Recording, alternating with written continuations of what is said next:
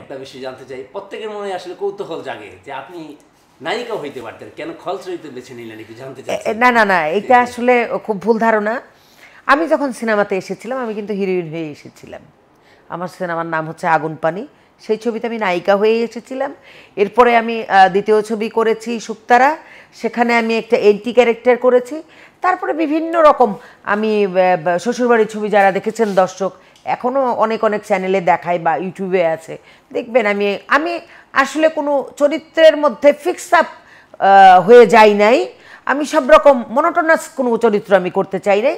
আমি সব রকম চরিত্রে অভিনয় করেছি নাম্বার ওয়ান আর নাম্বার টু যেমন ধরেন আমি এশিয়া মহাদেশের মধ্যে ফার্স্ট মহিলা ভিলেন যিনি ওই চরিত্রগুলি না করলে একজন ছেলে মানুষ সেই চরিত্রগুলি করতো। যেমন ধরেন ভয়ঙ্কর নারী দুর্ধর্ষ পামেলা কুখ্যাত জরিনা আমাদের আপনার আহ, রহমান আকবর সাহেবের বাঁচাও অ্যাকশন লেডি এইসব সিনেমাতে যদি আমি অভিনয় না করতাম তাহলে রাজীব সাহেব বা দীপজল সাহেব বা ধরেন হুমায়ুন ফরিদি সাহেব কাজ করতেন।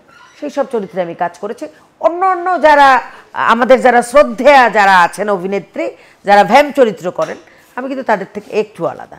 তারপর মনে করেন মিডিয়াতে যখন গিয়েছি হুমায়ুন আহমেদের কাজ করেছি আপনারা আমাকে হুমায়ুন আহমেদ দিয়েও অনেকে চেনেন।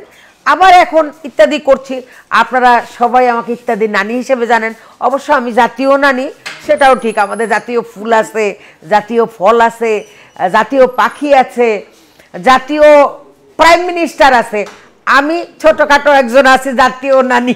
আমার নাম শবনম পারবিন এই আর কি। দর্শক হ্যাঁ। দর্শক ভাই আমরা আপনাদেরই একজন। আপনাদের জন্যই আজকে আমি শবনম পারবিন বা রাজ্জাক সাহেব হয়েছিলেন বা ধরেন আরও যারা আমাদের সিনিয়র আর্টিস্ট আছেন ফারুক সাহেব, আলমগীর সাহেব, শাকিব খান, আমাদের যারা আছেন, নায়িকারাও এরকমই সাবানাপা থেকে শুরু করে সবাই বা আরও আগে যারা ছিলেন, আপনাদের জন্য আপনারাই বানায়, বানিয়েছেন।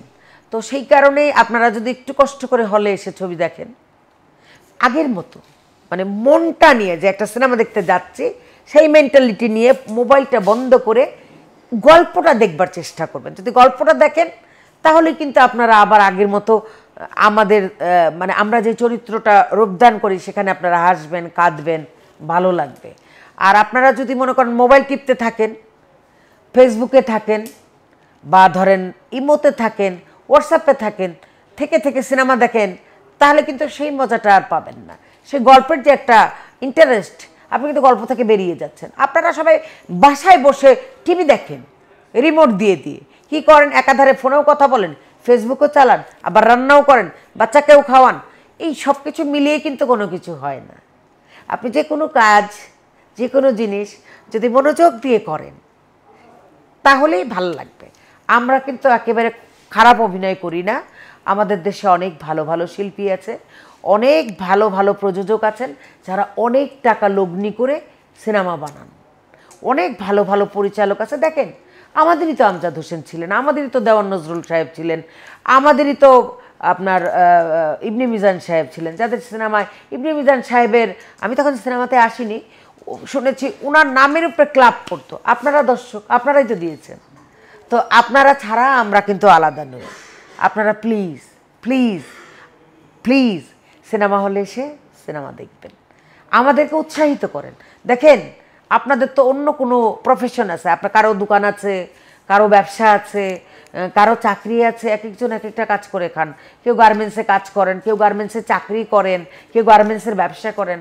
আমরা কিন্তু কিচ্ছু করতে পারি না, জানেন? আমাদের যে শিল্পী ভাই বোনেরা আছে, যারা ছোট কাজ করে, তারাও কিছু করতে জানেন। আমরা আর কিছুই শিখি নাই। আমরা শুধু এই অভিনয়টাই শিখেছি। আপনারা যদি হলে এসে সিনেমাটা না দেখেন তাহলে আমাদের সমস্ত ভাই বোনেরা নাকেই মরে যাবে।